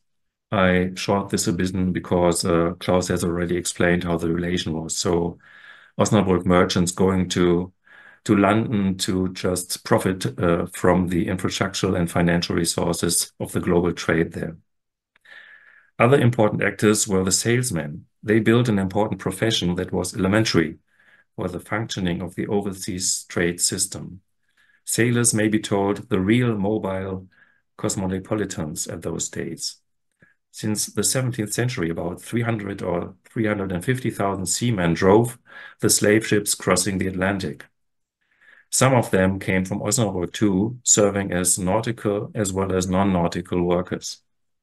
After the arrival in Africa, the ships had to be converted for the transport of a great number of enslaved people. This work was done, for example, by carpenters. During their stay in Africa and afterwards during the Middle Passage to America, the crews had to guard the human merchandise. They were allowed to use whips to discipline and punish the prisoners. The plantation complex, which is with its interaction between production and consummation, had a broad dynamics that mostly was not connected to the slavery because the broader global context has been denied. This makes clear, however, that at the latest, local history in Germany as well as in Europe since the 18th century is always linked, is linked history, a global and colonial history of slavery. This is how we come back to Christian Gerhard Schepeler and the baptism of 1661 in Osnabrück. The Osnabrück linen trade, with its jeans of the early modern times, if you might tell these trousers, well known as Osnabrück trousers, is as well part of the colonial triangle trade as the young African on his way from West Africa to Osnabrück. His story is an example how the mechanisms of the early modern global structures of power and trade affected the local level. Those mechanism, mechanisms made it possible that human beings were enslaved and deported against their will. This is exactly what happened to Christian Gerhard Schepeler from Africa. At the same time, we touch important refer references to the history of religion. The baptism from 1661 was orchestrated by purpose as a major event. It showed that the Protestant fraction in Osnabrück had recovered its self-confidence. During the Thirty Years' War, the two Catholic bishops, von Hohenzollern and of Wartenberg, had pushed back the Protestants in Osnabrück in a severe way. Pastors had been forced to leave the town. The elections of the Protestant town council had been manipulated and a Catholic university had been founded. Only with the occupation of the town by Swedish Protestant troops in 1633, this process has been stopped and cancelled. The baptism of May 18, 1661 was, in this context, an extraordinary celebration, as proves the list of guests, when in the morning at 7 a.m., a long procession walked through the town from the apartment of Schepelers in the Große Straße on its way to the church St. Mary. As an observer, you became aware of a real Protestant who is who. At the head of the procession went this young African bareheaded.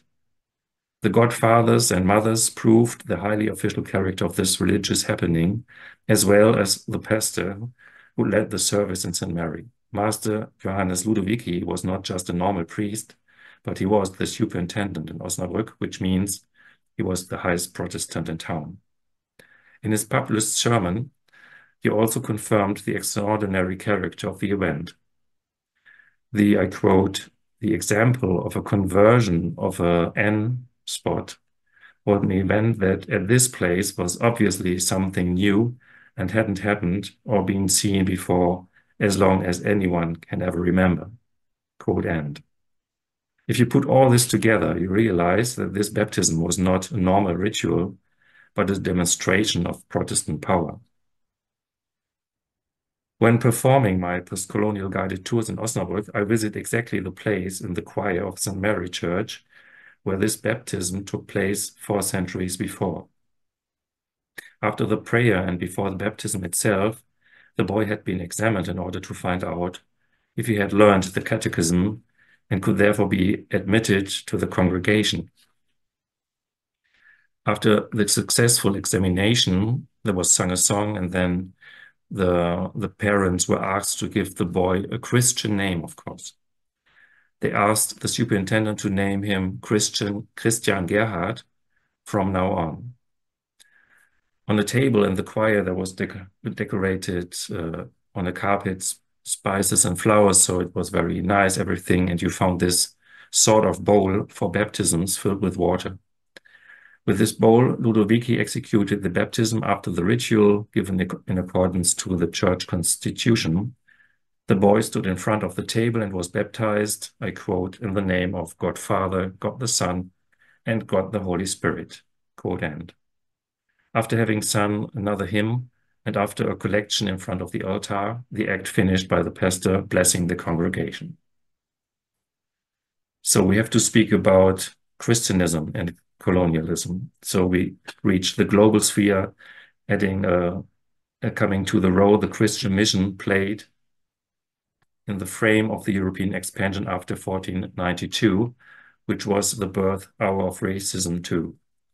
The forced conversion to Christianity by the European colonial powers in the modern times, example given by the Spanish in South America, was started by the old Catholic Church, but taken over by the Protestants too. Religion as a main element of social order continued to be a historically influential element after the religious wars of that period. One of the rules in contact with the world outside Europe was heathens, so all non-Christians, heathens were not to be seen as equal humans. Thus, in the mind of the Osnabrück actors, I quote from the sermon now, the bath of rebirth the holy baptism was regarded as a proper means on the way to salvation of the lad from an spot country. In the Osnabrück Act, we may see very different perspectives. In the eyes of the Protestant players, the baptism as an example of the conversion of an N spot was a laudable labor of Christian love, of course, expressed to this poor foreign lad they, quote, had converted the sinner from this wrong way and therefore saved his soul from death. But what about the deported young African? Which real name we don't know, which real name we don't know. Here we find a quite different dimension. The baptism was an act of exercise domination. His new Christian name, Christian Gerhard, is a new coding that overrides the original identity. The chosen names themselves make visible that the character of the new code defining two dominations, a spiritual one, Christian, Christian, Jesus, and the secular one, Gerhard, Gerhard, the name of the mayor. This does even not change by taking into account that Christian Gerhard, after the baptism, was given free by his masters without any payment. This behavior was not a sign of flourishing tolerance, or even more so of a considered fight against bondage and slavery. The young man still remains an object of the event. He is not a subject able to act in a free way. The color hierarchy still doesn't end. Here we have to deepen the intellectual background at this era. The Osnabrück baptism of Christian Gerhard Schepler was celebrated in the contemporary literature explicitly as a success of mission in Africa. The Osnabrück Act is mentioned as one of three examples of, I quote, blacks from Guinea who have been baptized in the Protestant church in different places during the previous century. Quote end. In the author's eyes, it was very urgent to save the souls of the people of Guinea who apparently believed in the devil I quote, The inhabitants of Guinea don't want to be called N spots, but Negrites after the Black River Negro that is crossing their country. However, it's right to call them N spots. On the one hand, the color of their skin is black. On the other hand, they believe in the false god, Fetismo, who obviously is nobody else but the devil himself. He is said to frequently appear to those heavens as a black dog or even a little black man. Quote end. Besides the malicious field research itself, this description is quite interesting. It shows that the point of view of the inhabitants of Guinea concerning the fact that they were named Negrites after the river and not N spots was not accepted by the Europeans but totally denied, a form of overwriting and occupying others' identities. This again shows clearly that the Europeans, because of their religious belief, had a dis disparaging view on these people when meeting them during the so-called voyages of discovery. Their European view would leave their marks on the relation between Christian Europe on the one hand and the heathen rest of the world on the other hand.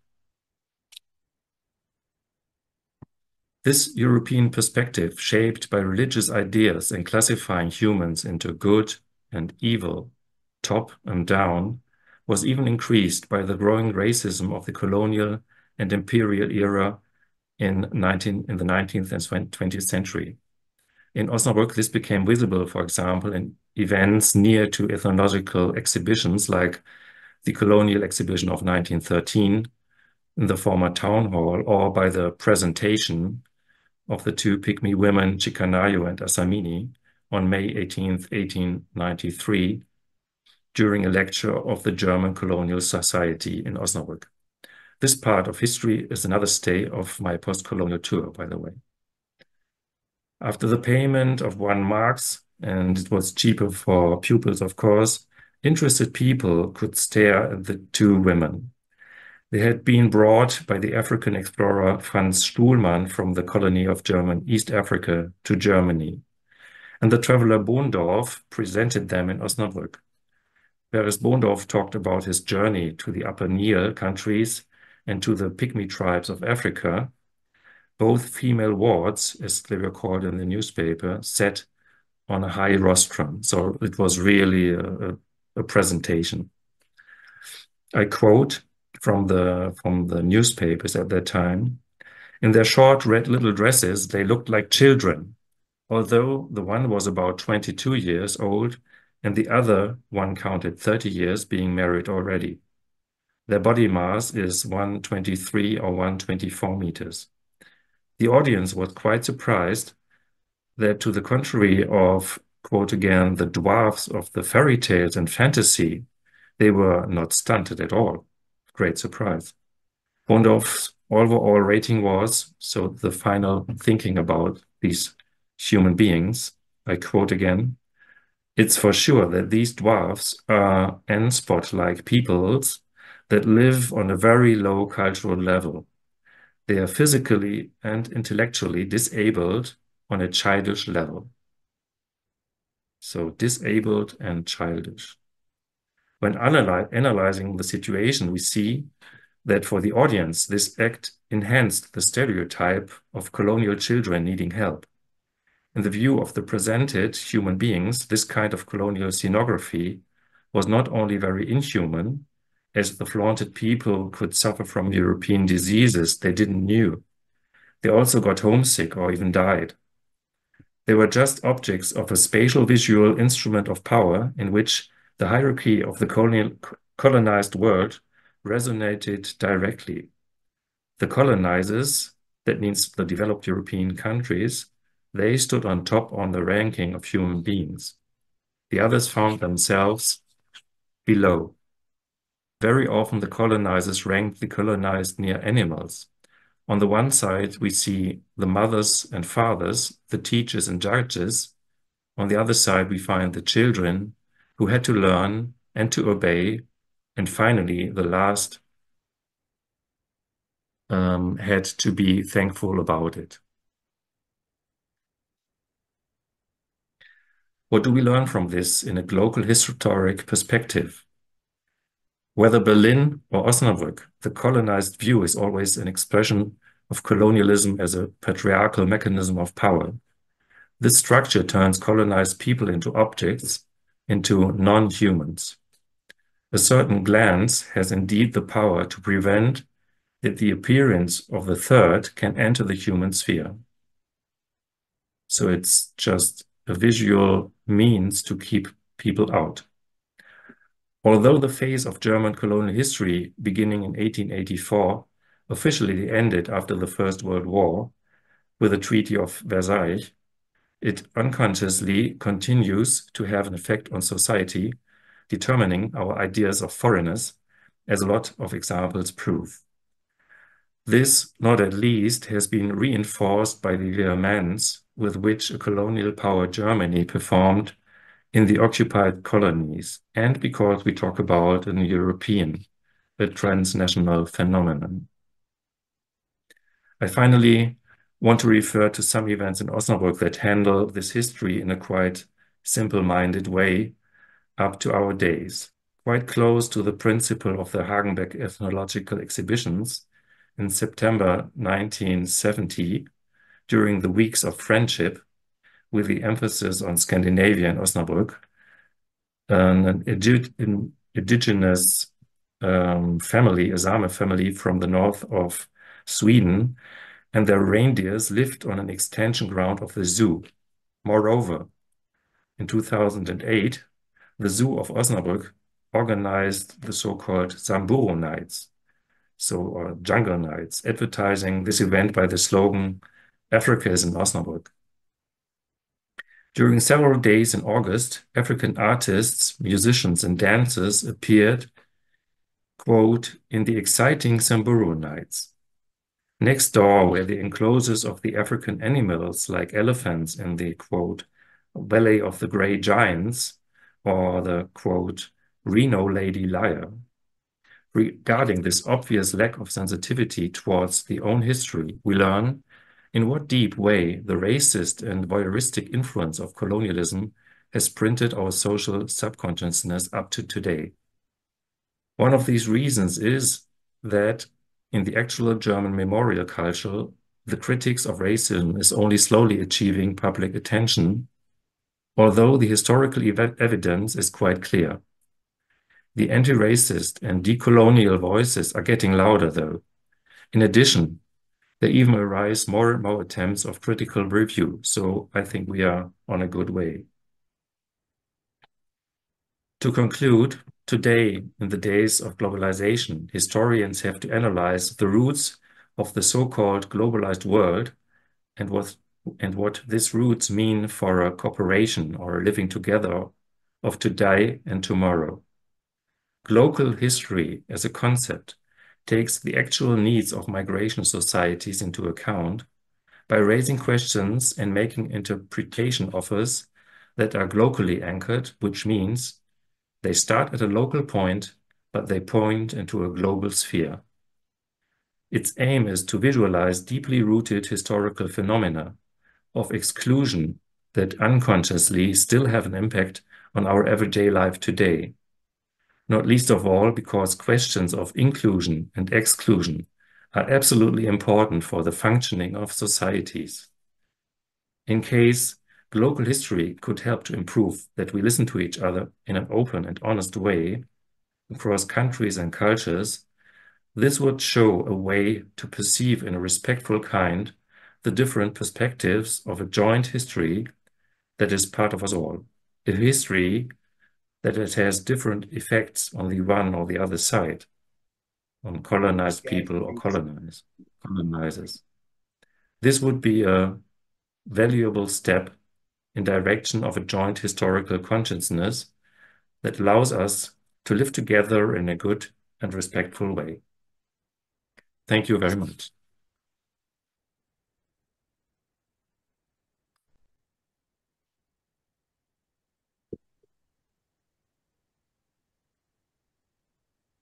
Thank you so much, Thorsten, for this presentation. We're um, can we place uh, time-wise? I'll be 10 minutes? Oh, yeah. Let's say, yeah.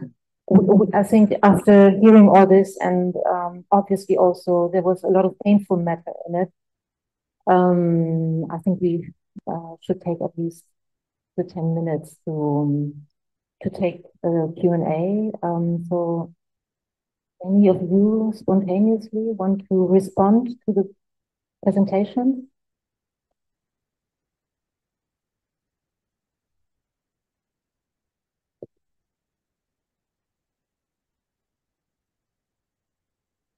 Not immediately.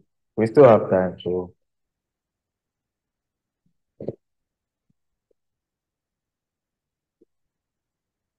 I found it quite interesting to see um, actually in, in your presentation, uh, Klaus, um, something that we probably forget nowadays about uh, the trade history is that um, the Central European um, countries were largely also working with very cheap labor so that actually um, these uh, export goods um, were available in, in, such a huge amount. Um, and on the other hand, also, I found it interesting to see um, that there's uh, some uh, absolute uh, continuities, meaning in the inheriting of wealth. Um, so that you were mentioning for all these um, linen producing um, families and like the ongoing the merchants of, of linen in in the German towns. Mm. Actually, uh, just yesterday, uh, something came to my mind also that I um, thought I might uh, quote if no immediate remarks here, because um, coming to um, the Silesian uh, weavers, uh, there have been a lot of uh, cultural um, attempts also to address these problematic conditions or life conditions that they had um, at the time. Mm, so there's a there's a poem by Heinrich Heine from uh, 1844 uh, that was first published in Karl Marx's um, journal Vorwärts, Forward. It's called The Silesian Weavers. And I will, I will just quickly read it. It's one minute. Their gloom enveloped eyes are tearless. They sit at the spinning wheel, snarling cheerless. Germany, we weave your funeral shroud a threefold curse be within it in endowed. We're weaving, we're weaving. A curse on God, to whom we knelt when hunger and winter's cold we felt, to whom we flocked in vain and cried, who mocked us and boxed us and cast us aside. We're weaving, we're weaving. A curse on the king, the wealthy man's chief, who was not moved even by our grief, who wrenched the last coin from our hand of meat and shot us screaming like dogs in the street. We're weaving, we're weaving. A curse on this lying father nation, where thrive only shame and degradation, where every flower's plucked ere its bloom, and worms thrive in the dark, rot and gloom. We're weaving, we're weaving. Oh, shuttle fly, loom, crank away. We weave unfailing, night and day.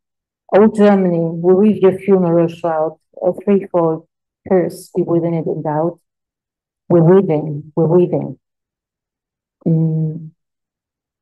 Later on, Gerhart Hauptmann also uh, wrote a uh, social drama uh, about this phenomenon of the uh, upheavals of the, the weavers. And so we can see, I mean, a continuity, obviously, also of exploitation, which is not only related uh, to racial questions, but also uh, a lot, of course, of the last questions. Um,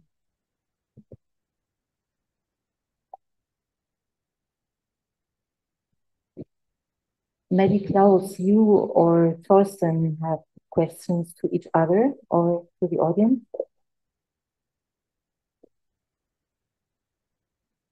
Sorry? Yes.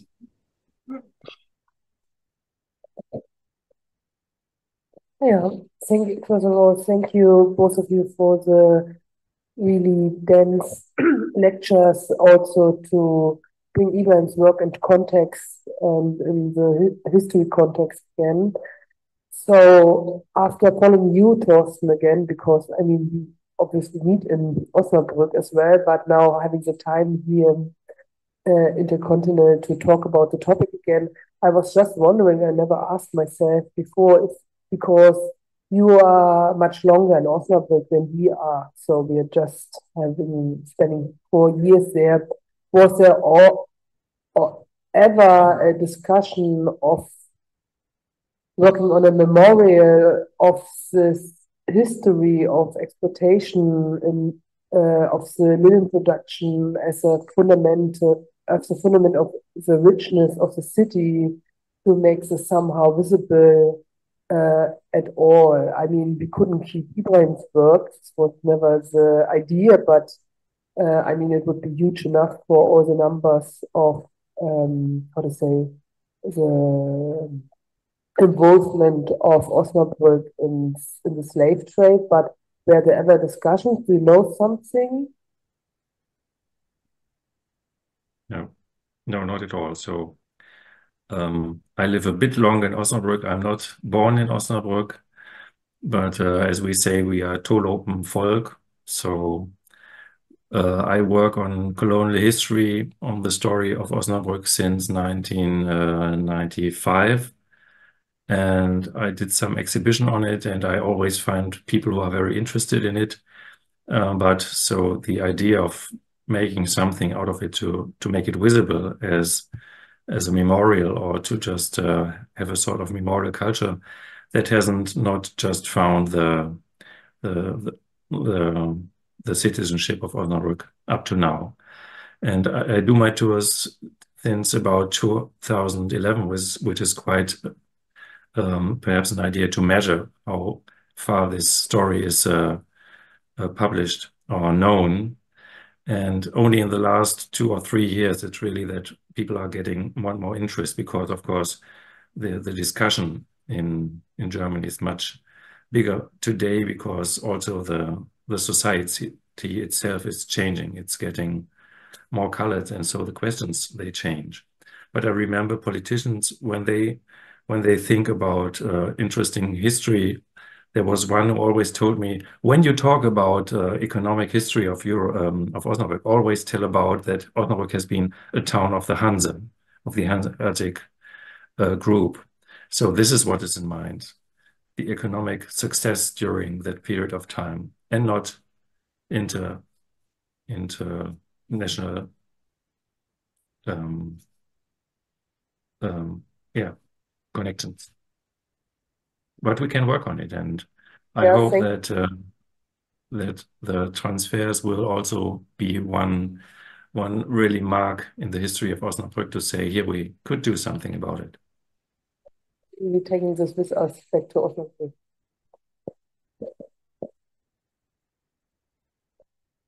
I also have a question to both of you. Um, in how far are you actually in exchange with colleagues in African countries in academia, academia here?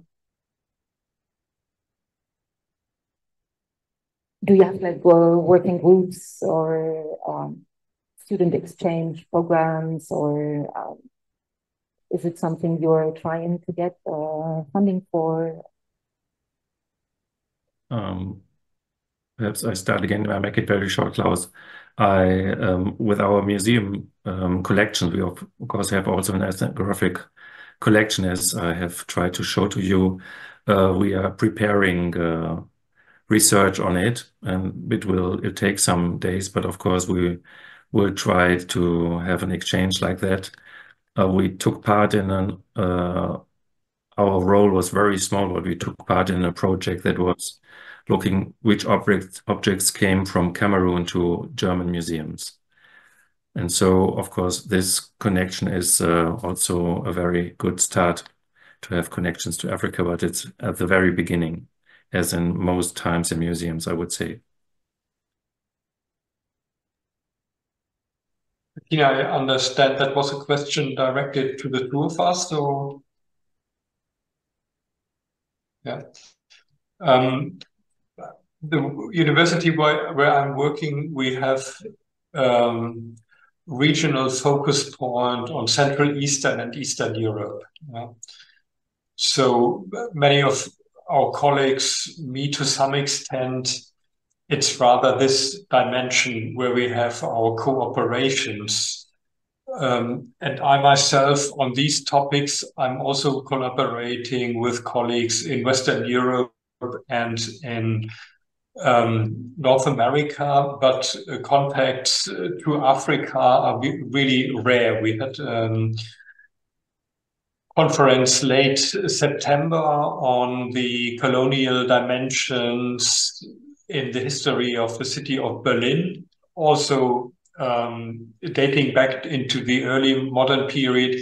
And there we had been cooperating with colleagues from Cameroon and from Ghana. That was the first time that we really had a fair amount of participants from from Africa. Yeah, but otherwise, it's um, um, it's not that easy because there are not these organizational infrastructures which are well established within Europe and um, also with the United States. If I'm talking about um, Germany, it costs a lot of effort.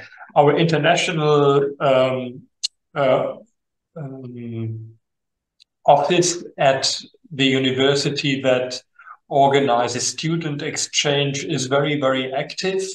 They have partner universities in African countries, but it is rare that we have African students in our seminars. Which was very different in GDR times, I suppose. I mean, I don't know for Frankfurt Oder, but uh, definitely uh, Berlin and um, many other cities like Halle and um, Leipzig uh, had a lot of uh, students from different African countries. And uh, I think there's uh, maybe also an interesting historical research to be done on, on that subject. Um, I have been recently also uh, asked by several artists of um, different countries, African countries' origins, that they want to um, investigate actually on this history in the universities also. And I think that would be an interesting project also to, to look at.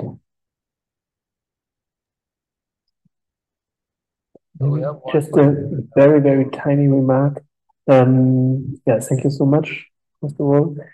And then I, I one, one, one thing that I found very interesting that how this kind of textile production in a way is like for these kind of um, merchant families in a way the starting point of their investment in a global trade.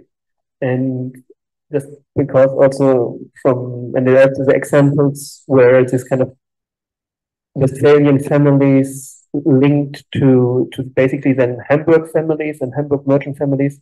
And then in the 19th century, I just came into my mind that the Woermann family, which is probably the most influential family uh, then in the late 19th century, they also have their roots in Westphalia. So they also came from Westphalia and then over generations, um, basically also take the same route, becoming like super powerful figures in the Hamburg um, merchant um, a way.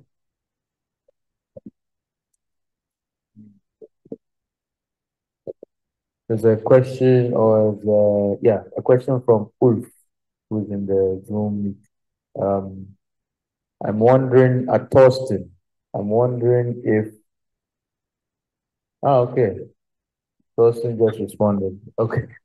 No, of course, that could be quite interesting to put um, a panel or something about this history.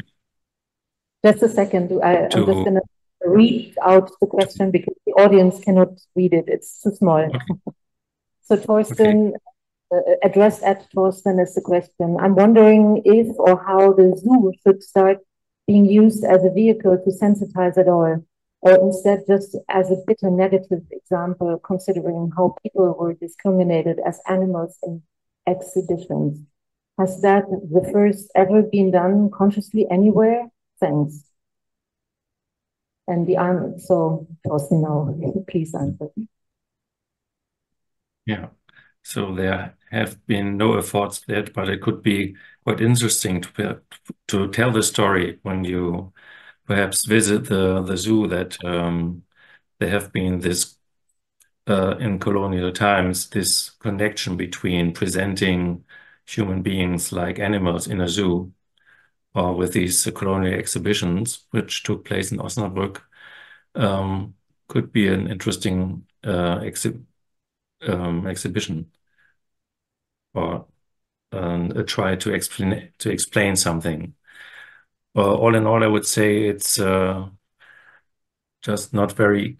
Uh, I don't think that there will be good efforts because um, there are economical interests, and to have wonderful Samburu nights in this wonderful uh, zoo, which has to pay himself, so you have to earn money, and then you have to uh, do events, and there are of course groups that just have no problem to to sing and dance there. But we as we should be aware of what what pictures we touch when we have these um, presentations over there. So it's a question of historical consciousness. Yeah, I mean, um, in the last couple of years, um, in the city of Berlin, there have been uh, a lot of initiatives and exhibitions um, under the title of Dekoloniale um, in the uh, regional museums, actually, meaning like the district museums, sometimes tiny museums, um, but all of them on the same um, idea of looking either into their collections or into the uh, districts uh, and seeking for histories. And uh, I was myself actually also co-curating in, in, an exhibition at the Schöneberg Museum, which was retracing um, the, family history of a family originally came from Cameroon, then over Hamburg, Danzig uh, to Berlin. And um, so two of the family members, um, siblings, were actually advising us on this exhibition. We were very closely developing it together, and uh, I think this this type of initiatives uh, does a lot of good um, in the society because these are also these tiny um, district museums or regional museums are the ones uh, that are reaching a large audience uh, in contrast to a lot of the contemporary art institutions um, that might be more uh, looked at as being more elitist. Yeah.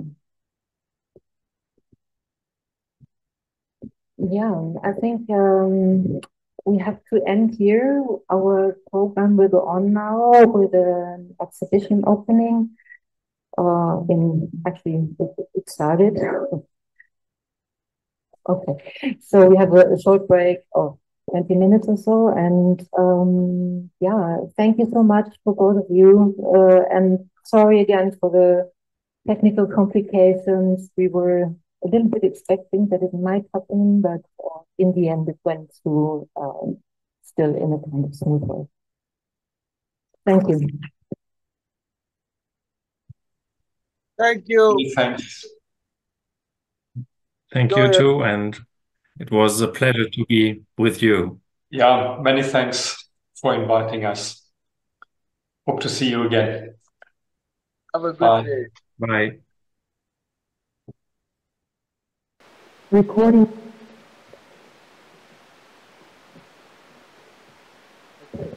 Thank you all for your endurance. Let's give a round of applause for ourselves.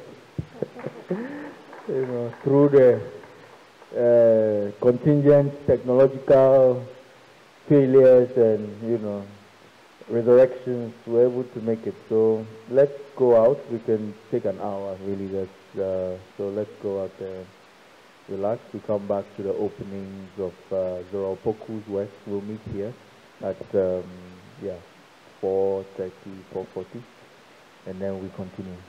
Yeah thank you. Let's go